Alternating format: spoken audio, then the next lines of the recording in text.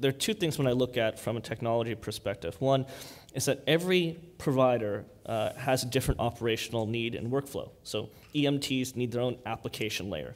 Uh, rehab providers need their own operational software. Nursing home, home health doctors, everybody needs different kinds of software to enable their operations and either bill for fee for service right now or to be able to prove value in the future.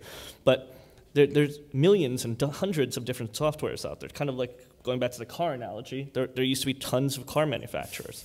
Uh, but to tie that together, clinical data repositories or good interoperability, but first, a strong data layer is important. A lot of providers still have not adopted a good clinical data repository solution. So when we talk about being in a post-industrial age and hopefully uh, uh, improving on that from a technology perspective, it's great that we have this effort to hopefully modernize and standardize to some extent workflows, even though I think workflows can be very different even in the same vertical across healthcare. When I look at Texas, for example, McAllen, McAllen's so different from Dallas.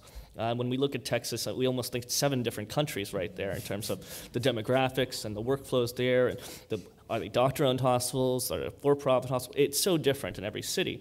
Uh, so when we look at healthcare ecosystems and what you are in terms of an operator, and then what kind of software you need to enable your operations, you still need that data, clinical data repository and layer to hold the data no matter what kind of software you upgrade to down the road, what kind of wearables you deploy, what kind of patient engagement apps you have later on.